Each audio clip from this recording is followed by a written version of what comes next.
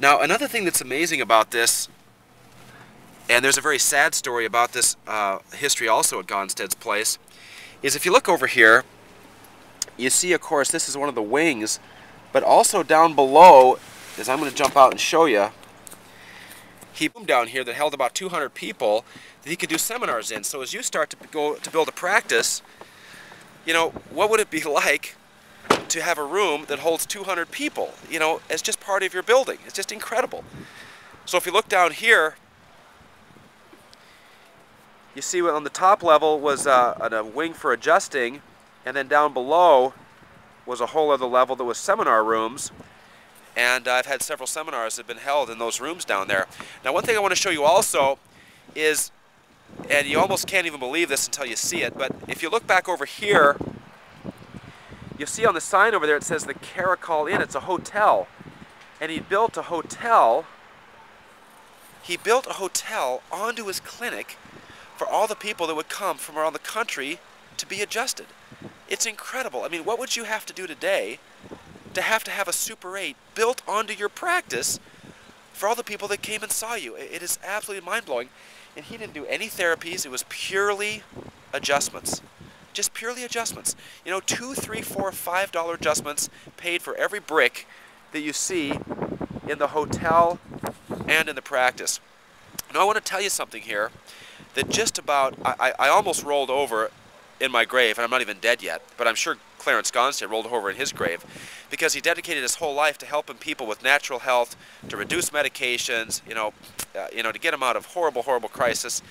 And um, what you don't realize, as I showed you the hotel, is the hotel used to be a lot bigger. It used to extend a lot farther to the right, but they ripped out the whole entry and the restaurant part of this hotel, and on Gonstead's sacred ground, the biggest, uh, one of the most popular chiropractic clinics on the planet Earth.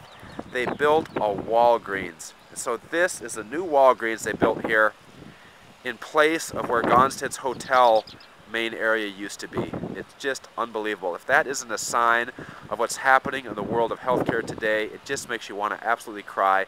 As I stand here today, it just, it just hurts me to the core of my soul to think that a guy dedicated his whole life to helping people and nobody else could come and sustain it to the level he did and they ended up ripping out his hotel and putting up a Walgreens that just pumps out nothing but medication every single day. It's mind-blowing. So I almost want to cry, but I won't.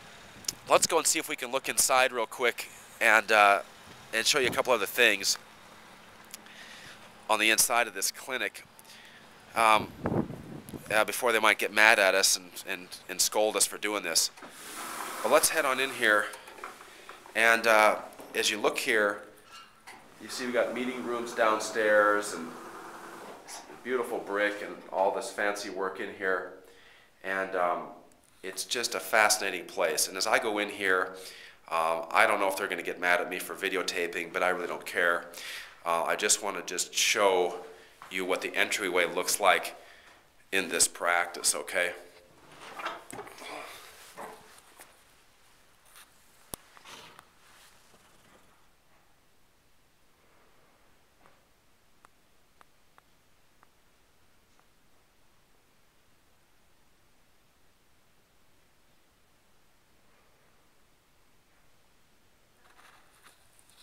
It's just absolutely incredible.